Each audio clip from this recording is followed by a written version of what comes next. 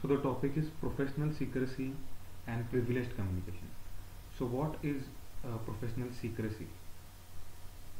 Uh, the professional secrecy is the doctor is obliged to keep secret all things about his patient uh, which he comes to know during his professional work and this comes under the right of patient under the declaration of declaration of Lisbon in 1995 so this is professional secrecy. There are several exceptions for the rule of professional secrecy and we have a mnemonic for that which is civic sin. So this civic sin C I V I C the C is for crime. The I is for infectious disease infectious diseases. The V is for venereal diseases sexually transmitted diseases. The second I is for interest that is self-interest.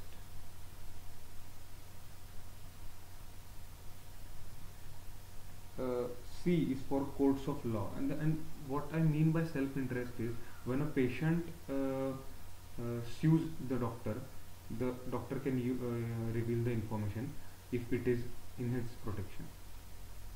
C is for courts and law and order.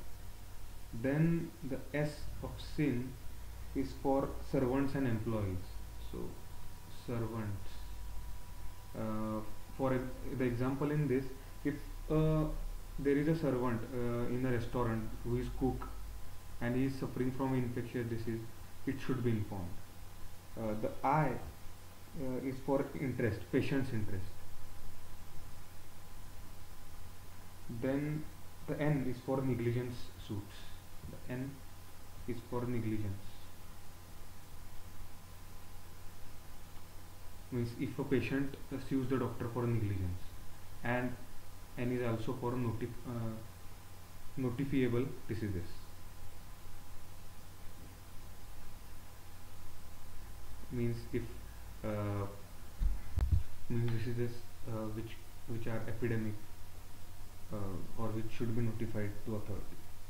Now we will see privileged communication. So now privileged communication.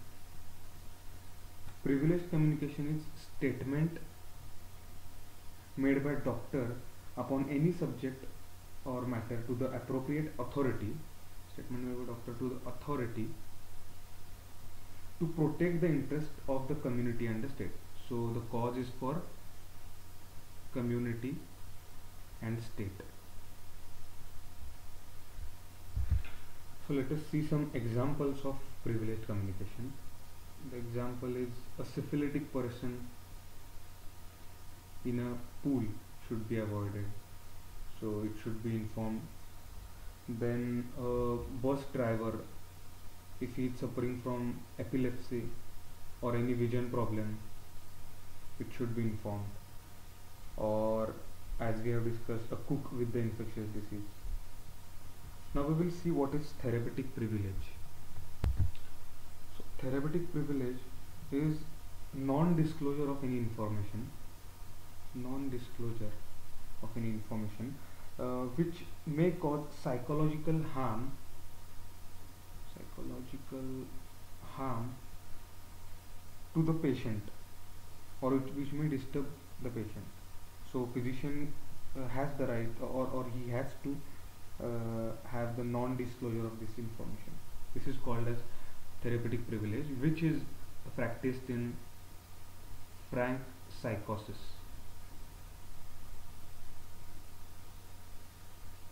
frank psychosis so this is about professional secrecy and privileged communication.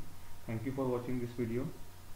Share with your friends. Tell them about backbenchers revolution